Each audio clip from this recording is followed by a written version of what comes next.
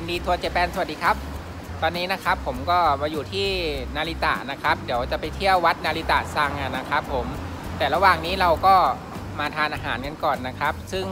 ร้านที่แฟนเพจทุกท่านเห็นด้านหลังผมเนี่ยนะครับ เป็นร้านที่ข้าวหน้าปลาไหลนะครับ ซึ่งมีอายุมากกว่าร้อยปีนะครับ ผมก็เห็นข้างหลังเนี่ยนะครับ ผมก็จะมีพ่อครัวนะครับมาทำแร่ปลาไหลนะครับ สดๆกันอยู่ที่หน้าร้าน อาหารนี้เลยนะครับ ผมก็เดี๋ยวไปชิมนะครับ ว่าอร่อยหรือไม่อร่อยนะครับ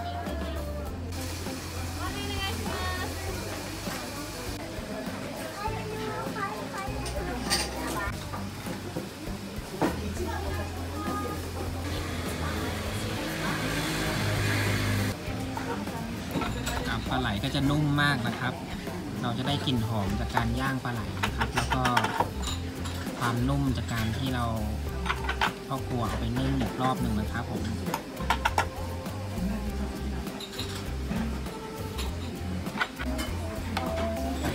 ที่ร้านนี้นะครับผมมีอายุยืนยาวมากว่า 100 ปีนะครับผม เวลาเสิร์ฟข้าวหน้าปลาไหลนะครับ ก็จะเสิร์ฟกับเครื่องเคียงนะครับ คือผักดองกับมีหัวไชเท้ากับแตงกวานะครับผม